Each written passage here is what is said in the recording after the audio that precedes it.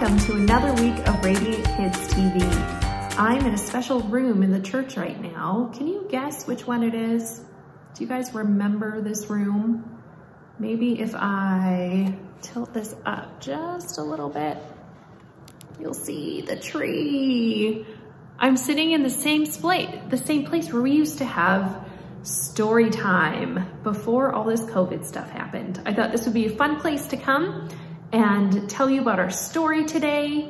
So I hope you enjoy. We've got Experiments with a Purpose. As always, we've got a birthday. We've got a couple songs from a few weeks ago that you guys can sing along with again. So stay tuned because here we go. Good morning, Radiant Kids. Today we have two special guests, Jack and Ivy. Hi. Hi.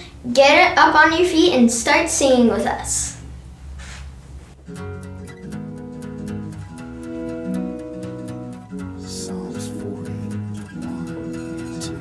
I waited patiently for the Lord.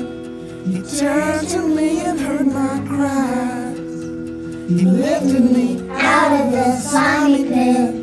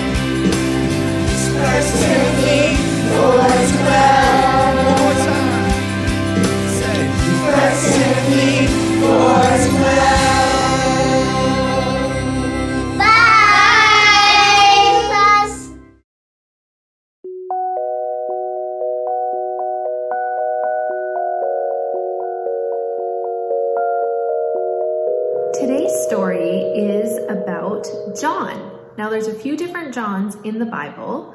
There's uh, John the disciple. There's also John the Baptist. Another way to say his name is John the Baptizer.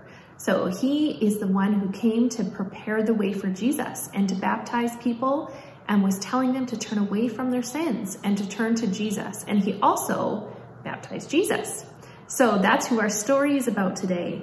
And that he, John, told people to follow Jesus.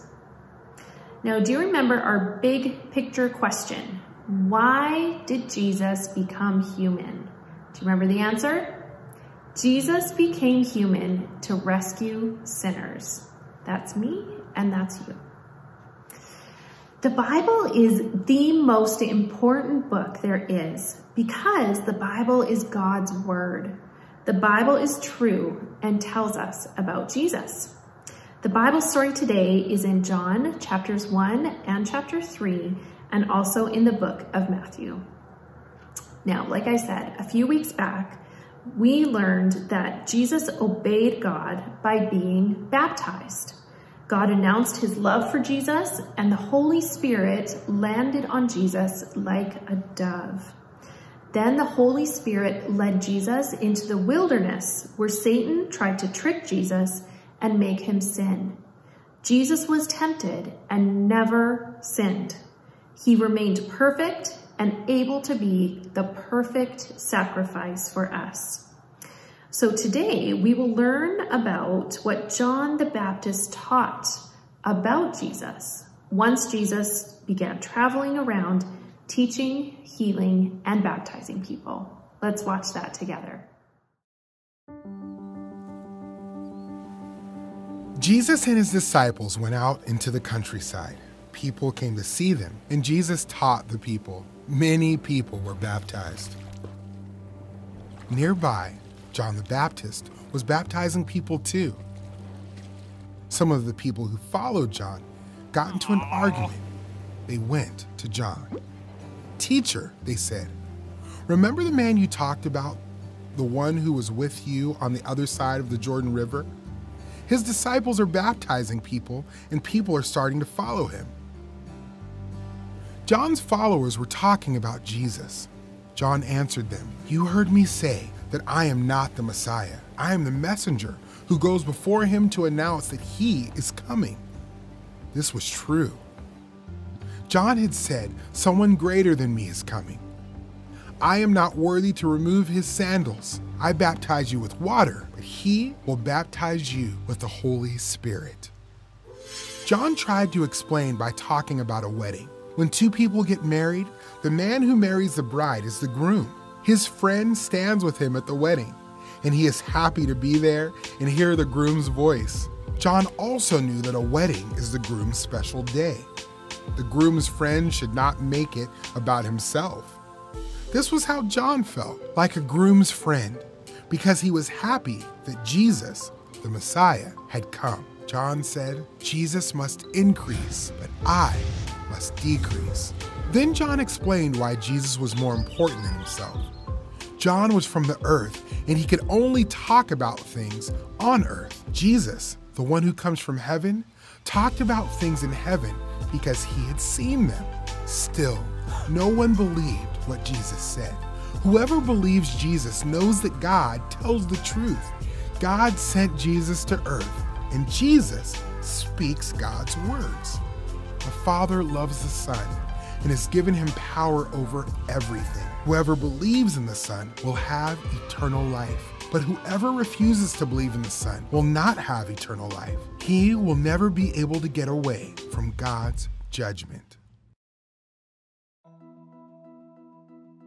John the Baptist told people to get ready for Jesus, the promised Messiah. Now that Jesus was on earth, John's mission was complete. Jesus was greater than John, and John joyfully stepped aside as Jesus began his earthly ministry. So John the Baptizer wanted everyone to glorify Jesus or to make Jesus the center of their lives. That's why John told people to follow Jesus and pointed to him.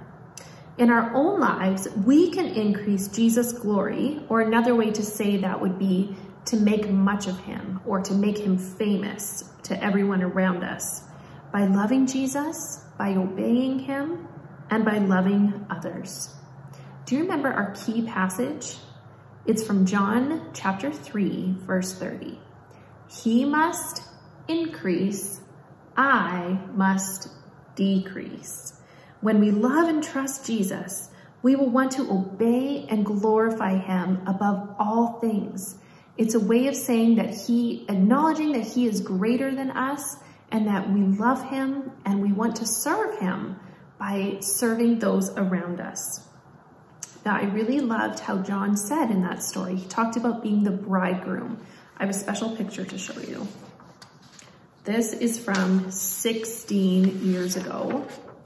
This is Pastor Gord and I on our wedding day. So in this situation, he was the bridegroom, I was the bride. And we each had a friend that came up and stood at the front with us as we said our vows to each other. And his friend was named Colin. Now, during our wedding, wouldn't it have been weird if Colin stopped everything and said, I just feel like people are not really paying enough attention to me right now. No one has said congratulations to me. Um, no one is making much of me today. And I feel very, very sad about that.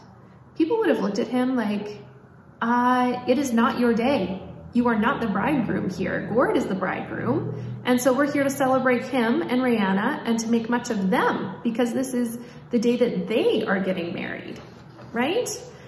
So another situation would be when Pastor Gord got his master's degree. This is him and one of his friends at school on the day that he graduated with his master's. And again, this would have been a situation where if this friend had said, I am just really not feeling appreciated today because Gord is the one being celebrated and no one has said congratulations to me. No one has shaken my hand. This just is not fair. People are not paying enough attention to me today. People would look at him like he was crazy and say, it's not your day today. This is, again, this is Gord's day because he's worked really hard to do this. So just that, those are the examples that John the Baptizer was giving in that situation, that he was not there to be made much of. People were thinking that maybe he was gonna be upset and jealous that now that Jesus was here, that they were gonna be making much of Jesus instead of John.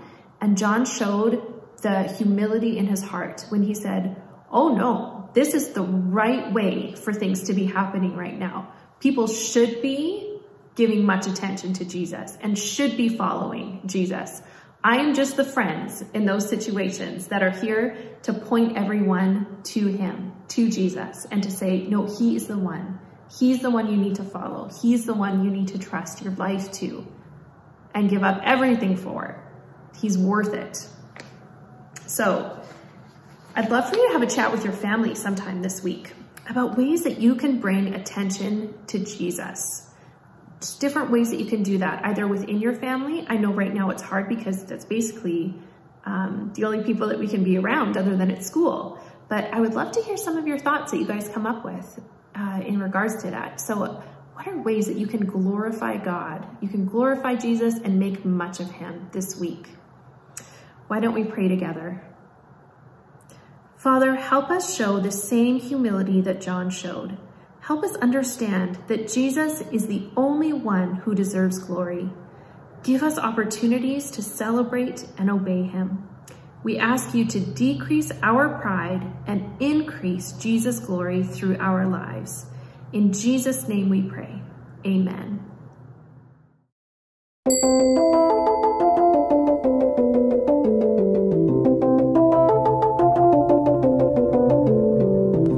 Everyone, welcome back to another episode of Experiments with a Purpose. Now, today we're going to be talking about density. And density is the ability or the compactness of a substance like water or air or wood or a piece of metal or an axe. Now, I'll, I'll talk about why we talk about an axe later. Now, can you think of a verse or story in the Bible about density? It's pretty hard, right? Well, I've been searching for the last couple of weeks and I found one in 2 Kings chapter 6. Let me read it for you. The sons of the prophet said to Elisha, Please notice that the place where we live under your supervision is too small for us. Please let us go to the Jordan where we can each get a log and can build ourselves a place to live there. Go, Elisha said. Then one said, Please come with your servants. I'll come, he answered. So he went with them. And when they came to the Jordan, they cut down trees. As one of them was cutting down a tree, the iron axe head fell into the water, and he cried out, Oh, my master, it was borrowed. It wasn't mine. Then Elisha asked, Where did it fall? When he showed him the place, Elisha cut a piece of wood, threw it in there, and made the iron float. Then he said, Pick it up. So he reached out and took it. Now that is a miracle. And this is what an axe looks like, and this is what the axe head in the story is. It's, it's a big piece of metal that you can use to cut down things with, trees, and because it's so dense, it never it never uh, bends or it never um, becomes not sharp because it's way more dense than wood or water. And that's why when the axe head fell into the water, it sank all the way to the bottom. And the miracle of this story is that Elisha, by throwing a piece of wood in the water, something that's less dense than the water, he made the axe head become less dense than the water. Now, we're going to do that today. We're not going to do exactly that because we can't make an axe or a metal become less dense than water. Now, that is quite the miracle. But something I can do today is show you how to make the water more dense. Now, here I have two cups of water. And I have a regular egg. Now, this is not a trick egg. This is not a fake egg. It's just a normal egg. It's not boiled. It just came from the fridge. And we're just going to be using it for this experiment. And what I'm going to do is take an egg, and an egg is actually almost as dense as water, almost as dense as water, okay? And when we put it into the water, what do you think? So just like the axe head, the egg is denser than the water. So what do you think is going to happen? Let's see. It's going to float or fall. It's going to fall. It's going to sink into the water because it's denser. Now let's take it out. And here we have another cup of water. Now, just like this last one, same egg. Let's see what happens when we put it into this cup of water.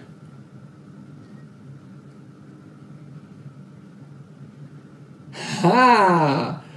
Check out what happened. Did it sink or did it float? The egg here actually floats in the water. Now, that's not a miracle. I want to show you how I did it. And you can do this at home too.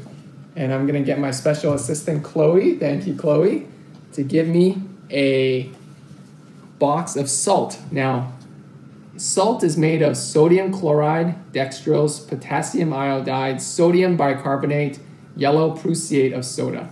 I have no idea what that means. But we know that when we take the salt and we pour it into the water,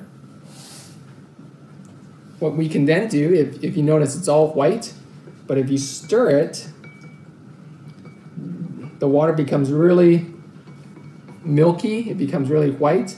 But if you keep stirring it, what you'll start to notice is that it'll become transparent like water again. Okay, now you actually need a lot of salt in order to make the water denser than the egg. So you probably need about half a cup of salt, of, of table salt, into this amount of water, like a tall glass of water. And what you do is you keep stirring, and if you notice, the water is starting to be more transparent now, which means that the particles are becoming dissolved in the water, changing the density of the water. And what you'll find is eventually, when, you, when it's all stirred up, when it's nice and clear, you put an egg in there and it will float. Now, just in case you thought this was a trick egg, I'll get another egg. This is another egg straight from the fridge. And by dropping it into the water, it will float. Well, I hope you enjoyed today's experiment, and I'll see you next time on Experiments with a Purpose. Bye bye. We do have one birthday this week, and it is Clara Marsh. Clara is turning two already. We hope you have a fantastic birthday. Happy birthday, Clara. I'm so glad that you've been here to watch with me this week and to listen as John told people to follow Jesus. A couple of quick reminders for you. Your boxes need to be, your shoe boxes need to be into the church by today. So I hope you had a chance to get those in here. And I would love for you guys to memorize this month's verse. Again, that's John chapter 3, verse 30. He must increase, I must decrease. You can always send me a video of that to kids at mtnview.org. And if you send it in by Thursday at noon, we can all watch it together next week. So I hope you guys all have a fantastic week and we will see you next time on Radiant Kids TV. Bye-bye.